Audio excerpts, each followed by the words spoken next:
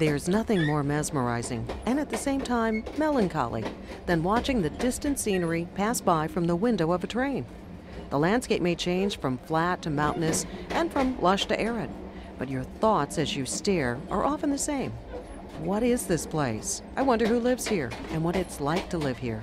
I wonder who has traveled here before me. But when you are riding the rails along the route that the likes of Chinggis Khan and Marco Polo likely crossed, it makes your heart beat faster. Spanning five time zones, three distinct cultures, and more than 5,000 miles, this is the longest train trip in the world, the Trans Siberian Railway. Ride along with us. We're Ann Craig Cinnamon and John Cinnamon, and we both have long careers in broadcasting in Indianapolis, Indiana. Since marrying in 1995, we've traveled the world together visiting more than 100 countries, all seven continents, and all 50 U.S. states. We've done such things as gorilla trekking in Rwanda, hiking the Himalayas to see Mount Everest, hot air ballooning over Cappadocia, Turkey, exploring Easter Island on a scooter, and visiting the eerie ghost town of Chernobyl in Ukraine. When you're a travel junkie, it gets harder and harder to get your fix, which is why we're always looking for something new and different, experiencing something in a more adventurous way.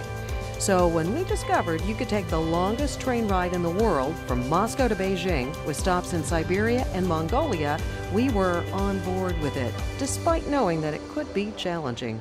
So this trip is a little more nerve-wracking. We don't we we don't know what the train's going to be like. I'm so excited to see it. There's a lot of it's a lot of things that we're not sure about. But is it not one of the most exciting maybe that we've ever done? Oh yeah. Oh, absolutely. When there's there's a certain segment of our, our friends and people that we talk to and tell them where we're going on the uh, Trans-Siberian Railway. Really? I didn't even know there was such a thing. Yeah. That sounds awesome. That Where's sounds so go? What do you exotic. Yeah. Yeah. And then when we when we you know tell them it's wow that's really cool. And of course then there's the handful of others who say oh we're gonna stay we're gonna be in a train for four days maybe with two other people in our cabin Longer than four days. right but four days in a row. In a row. And they say that sounds awful. I would never want to do that. With strangers, strangers on a train in a cabin this close? Could never no do thanks. that. That's what he actually said. What if they pass gas in the middle of the night? What if we do? First stop on our more than two week long journey, Moscow. Now, you would think that after going through the rather onerous process of applying for a Russian visa and receiving it, that you'd be in. But not so in John's case. He was singled out upon arrival in Moscow at immigration for a more extensive search and interview. So we get to passport control at the Moscow airport, and they take my passport and tell me to step aside and wait. I had cleared passport control and turned around to look at John, and he's standing there going, Well, after waiting about 40 minutes, they finally took me downstairs to this small office with like Soviet era furnishings an old metal desk, a yellow rotary phone. I asked a few people what was going on, but they didn't speak much English. But they told me to just wait. So I picked up our luggage and sat outside passport control and waited and waited. So they start asking me questions like What are you doing in Russia? Are you going to be meeting with any politicians? Then they ask if they can see my cell phone. What am I going to say? No? If only I'd had a working phone, I could have at least texted John, but my phone was dead and he had the chargers. Well, when they asked for my phone, they started punching in a series of numbers and symbols, and a screen came up that I had never seen before. It looked like it was a serial number, which they proceeded to write down. By then, passport control was completely shut down, and I was still waiting and scared to death. Well, after more than an hour in custody, I was finally free to go. But as far as I know, the Kremlin may still be listening. With that rather unnerving episode behind us, we were on our way. Moscow is a beautiful, vibrant city. Red Square is, of course, iconic. The Kremlin is not at all what you might think. There are beautiful churches inside the walls, and it has served as the government seat for more than 500 years. The colorful St. Basil's Cathedral sits at one end of Red Square, where it's watched over parades, demonstrations, and just day to day events for over 500 years. This cathedral is actually nine churches in one. It may be rather ornate on the outside with its onion domed cupolas, but the inside is not at all what you'd expect of a cathedral, with brick walls and low ceilings and small chapels. I've been to Russia twice and never been inside St. Basil's before, and I've always wanted to come. And it's better than I ever thought it would be. It's it's it's not the gilded churches that you usually see. It's just it's it's real. It's beautiful. It's a gem.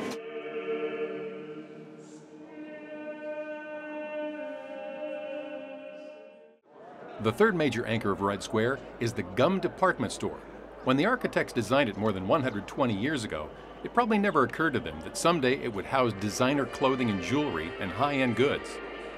When I was first here, and that was 1974, it was their big prize even then, and they brought you here as a tourist attraction. But it was really the government, the state store, and yeah. so they would have, you know, the bread shop over here, and uh, and the, and the trinket shop, shop, and the and the, the cheese shop, and the, you know, and people would, you know, this is where they shop, but it was it was nothing like this. Oh, I sure. mean, the architecture is pretty much the same, and it's beautiful, but it, and it is a beautiful, stunning, beautiful building right on Red Square, but it's not anything the way they intended when they created it. Oh yeah, from the time you were here the first time Yeah. to now, it's gone from Pravda to Prada. Absolutely. Something else Moscow is famous for and proud of is their subway stations. Some are actually considered architectural masterpieces. There are stations designed of marble, others have mosaic ceilings, and then there's Revolution Square Station, which has bronze statues of soldiers that subway riders over the years have fondly rubbed as they head for their train. After touring, shopping, and dining on dumplings for a day or two, we were ready to start the adventure. Our tour guide, Isa, took us to a local grocery store to buy food. So the thing is that we are going to spend four days on the train and dining car may be not available or sometimes you may not like the food and it's always better to have some food on your own. Plus it's acting like local because locals don't ah. go to dining car. They uh-huh. prepare everything in advance like boiling eggs, cooking chicken, wrapping it in tin foil. We cannot do this as we Right. don't have uh, kitchen. Right. But we can buy some things and cook ah. by ourselves to you know, be Right, like right. locals. So the locals, they do a lot of preparation before they get on so the train So train is all about eating. It's, It it's the culture. So you once you board the train, Uh-huh. it hasn't started even yet. Right. You start eating, and you're sharing food with the neighbors. So it's better to have something to be able to share. Oh, I think we need to shop some more. As the time to board the Trans Siberian Railway approached, we were excited and anxious at the same time.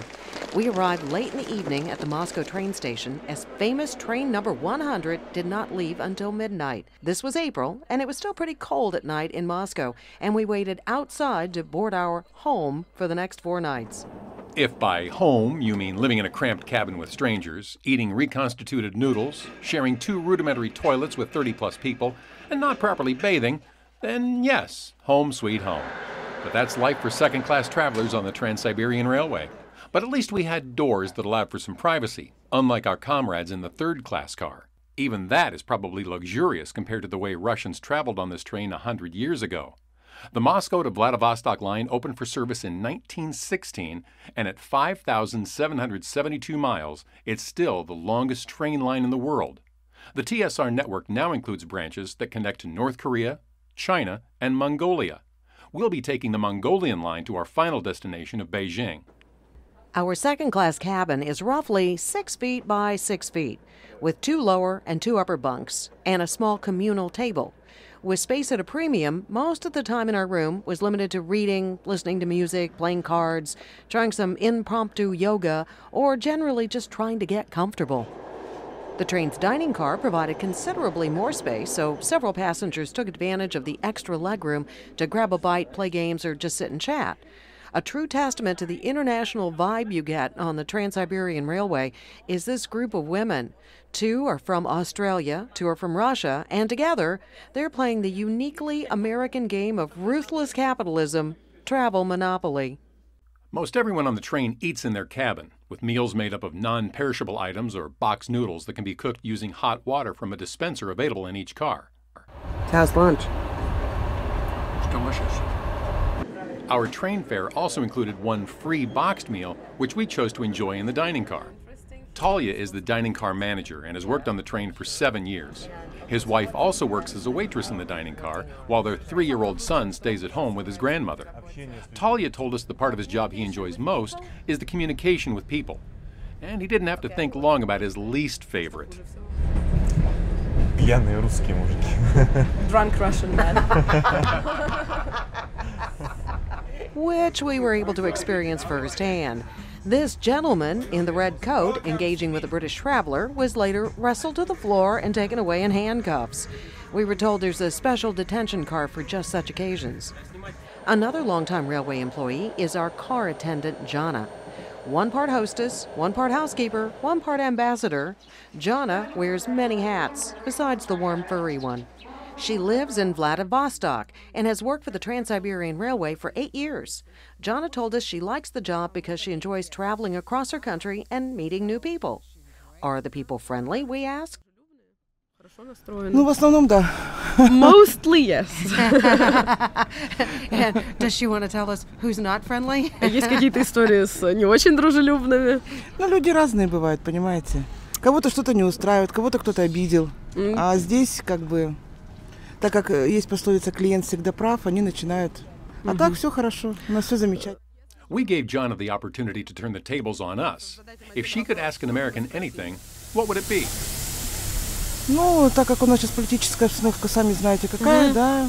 Просто вообще как они относятся к России?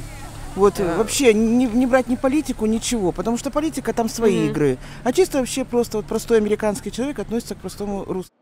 Well, we can't speak for all Americans, but our experience has been that the regular Russian, as Jana says, is friendly and helpful.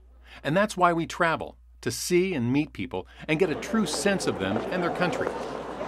There are any number of reasons why people travel, or take a specific trip in particular. Gareth Marks of London, England, has been wanting to travel on the Trans Siberian Railway for 20 years. What's he most looking forward to?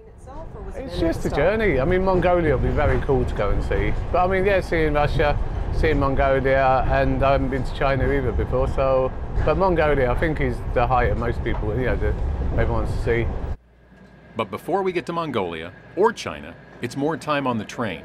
Understand, our first four days on the train are not non-stop. In fact, we would make 14 stops at stations along the way before getting off in Irkutsk. Remember, the Trans Siberian Railway is first and foremost a commuter line, transporting Russians from one town to another. Some of the stops were as short as 13 minutes, while others were close to an hour, giving us time to stretch our legs, get some fresh air, and do some quick shopping and sightseeing. Most stations were little more than a glorified convenience store selling snacks and souvenirs. But others, like this one in Yekaterinburg, were truly monuments to Soviet era glory. In addition to the ornate chandelier, the ceiling features paintings of famous Russian and Soviet events that happened in this area of Russia, including the downing of Gary Powers and his U 2 spy plane in 1960. Back on the train, recall how we mentioned not properly bathing? With no showers and limited bathroom space, this is about the best you can hope for on board. During our pre train shopping trip, our guide had suggested stocking up on wet naps. Hopefully, we brought enough. We would still have a ways to go before an actual shower at our hotel in Siberia. Next stop, Lake Baikal. So far, we've traveled more than 2,600 miles across five time zones, and we're barely more than halfway through our journey as we arrive in Irkutsk. The joke among Western civilizations has always been that being exiled to Siberia was a fate worse than death. Well, the early 19th century Russian exiles made the most of it. Because they were mostly intellectuals, they turned Irkutsk into a center of cultural, artistic, and educational prosperity. It came to be known as the Paris of Siberia. From here, we'll take a one hour bus ride to the small town of Listvianka, near the southern tip of Lake Baikal. We'll spend two nights here before getting back on the rails. Lake Baikal is the largest freshwater lake by volume in the world, and during our visit in mid April, the lake is still covered with a thick sheet of winter ice. Although we were assured it was safe to walk on, you can tell some still made the initial trek rather gingerly. Even with the lake frozen over, the locals still take advantage of a relatively warm day to come to the rocky beach and enjoy food, games, a ride on an ATV or hovercraft, or just hang out with their best friend. Families having fun on a lakeside beach is clearly universal, no matter what time of year. We are told that within a couple of weeks the ice will be gone and the hovercrafts will give way to boats. But for now, a hovercraft it is. We took a ride across the lake to this section of track formerly used by the Trans Siberian Railway. Now they use it for local trains around the perimeter of the lake. Back in downtown Listvianka, the Saturday market is in full swing. Your choices range from fish to, well, fish. Actually, they do have fruits, nuts, and cured meats, as well as a variety of kitschy souvenirs. It's kind of a combination farmer's market and tourist trap, complete with the full array of traditional Russian nesting dolls or matryoshkas. But not all nesting dolls are painted to look like adorable babushkas. Some are of a more authoritative nature. With our preconceived notion of Siberia as a gray and desolate wasteland shattered by this beautiful sunset, as well as the friendly people, colorful market, and playful families on the beach, we bid farewell to Listvianka and head back to Irkutsk, where we'll board the train and head south. This is where we change to the Trans Mongolian leg of the Trans Siberian Railway. A new train and new cabin mates await us on the next part of the journey. As the landscape begins to change outside our window, we know that we're getting closer to our next and most anticipated stop, Mongolia. It was our first visit, and we had visions of a vast wasteland of steppe, nomads, and people on horseback with falcons. What we found at our first stop was the very modern capital city of Ulaanbaatar with one and a half million inhabitants. It has tall buildings, wide boulevards, huge plazas, and temples. But it also has shopping malls and stores offering all manner of cashmere, since Mongolia is the largest exporter of cashmere in the world. Mongolian barbecue is not something the Western world made up. It's the real deal, and there's cuisine from all over the world available in Ulaanbaatar. Even a little taste of home. Being from Kentucky and having met Colonel Sanders as a child, I can't tell you how comforting it is to see his face pasted in the most far flung exotic places around the planet. We also took in some traditional Mongolian entertainment with its brightly colored costumes, unique instruments, and a form of singing that we had never heard before. It's called throat singing, and it's amazing and cringeworthy at the same time.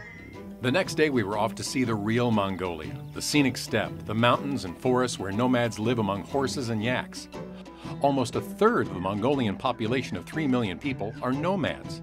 That may have been the single most fascinating thing we learned. In an age where so many people in the world live in huge cities and work at regular jobs and go to their homes or apartments, there are still 800,000 people in Mongolia who live off the land and move around based on the weather. These nomads live in what they call gers, known elsewhere as yurts, which are large, round, insulated, and collapsible tents that whole families live in. They take them apart and move them wherever they go. On the way to the camp, we made a stop at this enormous stainless steel statue of Mongolia's favorite son, Chinggis Khan. You know him as Genghis, but it is in fact Chinggis. That's because shortly after his reign in the early 13th century, tales of his exploits were written in languages that didn't have the CH sound, so Chinggis became Genghis.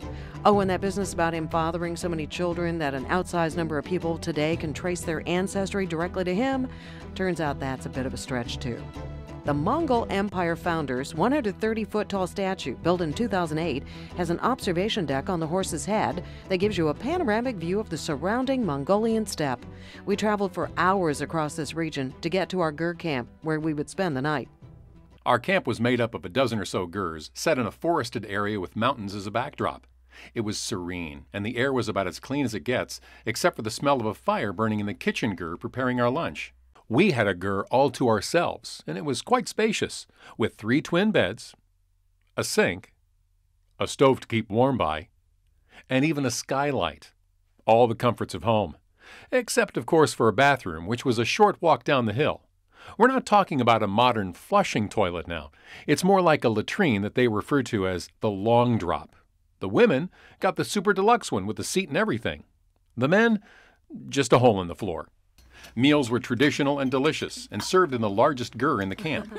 Our guide, Nemo, which is short for something we can't pronounce, took us on a long midday hike of the surrounding mountains and to a temple that was situated amidst the mountain range with a beautiful view of the valley below.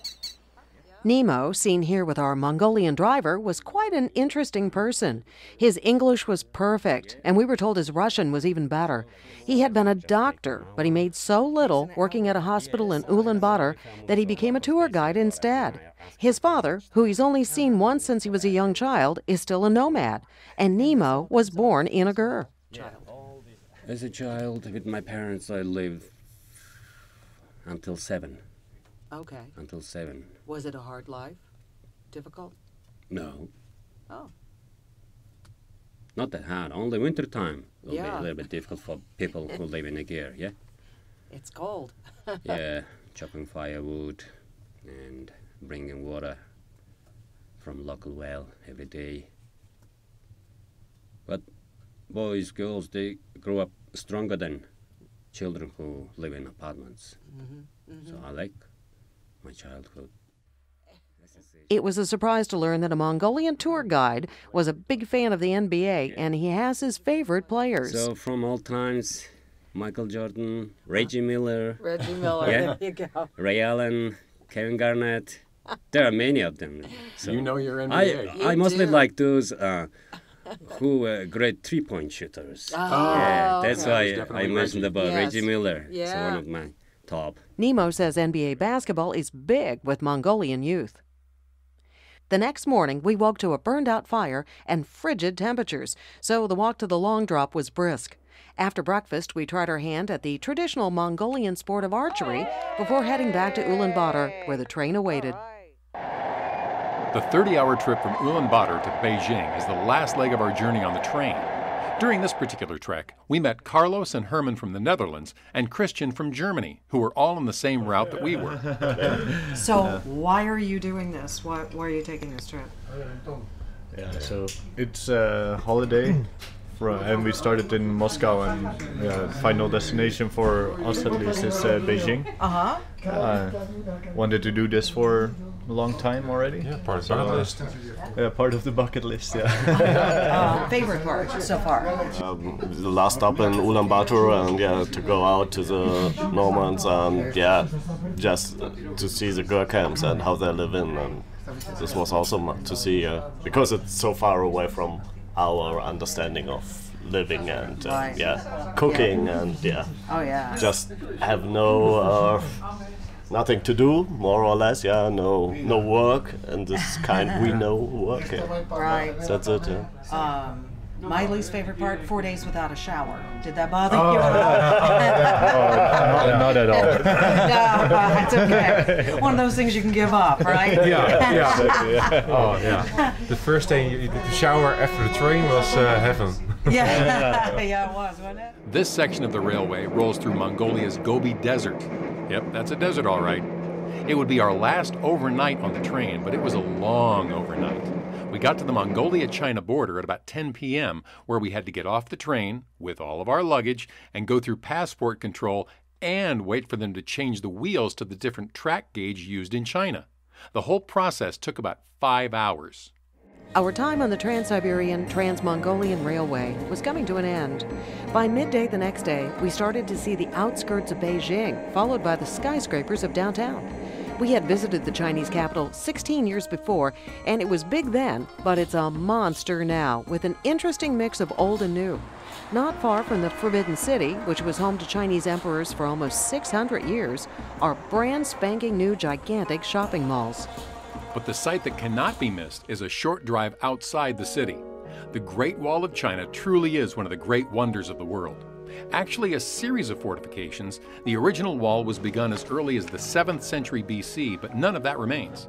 Most of the wall that you can visit today was built beginning in the 14th century by the Ming Dynasty. Believed to have been built for defense and border control, it stretches an unbelievable 5,500 miles across northern mountains. It's not an easy walk on the wall with lots of steps and climbing. The higher you go, the more spectacular the view. This 76 year old woman made the journey for the first time with her grandson, and he says they loved it. First time on the wall? Yeah, first time, the first time trick here. And you loved it? You love it? It's Love it, beautiful. love it, yeah, it is. very It's just beautiful. beautiful. Very huge, and and she and she know she know the the story of this this place. Uh huh. She knows the story? Yeah. Yeah. she she interested uh, at this place. Uh huh. Yes. And she's told it to you? Yeah. it's Yeah. to me, it's yeah. me the story. So I take him to here. Ah. The Great Wall, in every way, takes your breath away. Perhaps the only other Beijing attraction that can possibly rival the Great Wall is the giant pandas. China's national symbol is so popular that they have their own pavilion at the Beijing Zoo. Every single panda in the world belongs to China. That's because giant pandas in the wild are only found in the remote mountainous regions of central China. Pandas aren't really the cuddly creatures they appear to be, they can be dangerous. Although the ones at the zoo appear to enjoy sleeping most of the time. The Chinese are crazy about their pandas. The pavilion is packed with people, and the gift shop is full of tons of panda stuffed animals and other toys. Even goofy American tourists get into the act. One of the most popular ways for locals to get around Beijing is by bicycle. But given the number of cars, pedestrians, and other bikes, riding a bicycle in this crowded, unfamiliar city is not for the faint of heart. So, of course, we decided to give it a shot. Without the app on our phone to rent the public bikes, we got an assist from several nearby hotel workers, and we were on our way. Thank you. Okay. Okay. I think we're ready now. We finally Let's got work. our bikes. Okay. And I'm all set because I've got my backpack, bottle of water, and just in case we have to make a stop somewhere because we're in China, toilet paper. Okay, Never but the most important thing is our travel insurance paid up. Even with dedicated lanes for bicycles and motorcycles, it was still no picnic, with close calls a common occurrence. John decided caution was the better part of valor, letting the man in the wheelchair smoke him off the starting line. There's no denying that for the average American who's never been to Beijing, the name Tiananmen Square probably conjures images of the 1989 uprising with tanks, protesters, and the iconic Tank Man. And while there's still an unmistakable police presence and high security getting into the square, the atmosphere we found on this typical Sunday afternoon 30 years later was clearly more relaxed. The enormous 100 acre space sits in the geographic center of the city and was filled with families and tourists doing what families and tourists do in parks and squares all over the world snapping selfies, taking pictures, in this case in front of the nearby Forbidden City, and uh, doing whatever it is this woman is doing. As you can see, the Chinese start their selfie game from an early age, and one of the locals took a particular liking to Ann and included her in an impromptu video selfie. In general, we found the Chinese people friendly, welcoming, and always eager for a picture with their foreign visitors. We were at the end of our more than two week journey and had come a very long way. We had not only traveled 5,000 miles by train, we had experienced three distinctly different cultures. But as our Russian guide Isa, who has led this trip several times previously, has discovered, people are people. Despite all the differences, and we are really very different cultures, and even lifestyle is different, no matter how global, globalized we are now, we're still all people. So you still see the same thing everywhere. People travel for lots of different reasons. We do it for the education because travel is an education like none other. It brings history alive, it makes geography personal, and it is a cultural bridge. It's about knowing what a place on the other side of the globe feels like. It's about the people you meet along the way, the faces you remember, and the memories you create. It's about how people react to you when they find out that you're American, and what fun it can be to discuss politics with people whose government is different than your own. They may not look like you, and they may live differently, but they are still people. Perhaps the most important lesson, though, is what you learn about yourself. Travel can test your fortitude, your patience, and give you more insight into what you are capable of doing. It may not always be easy, but it's definitely worthwhile. Sometimes, though, it is just about the journey.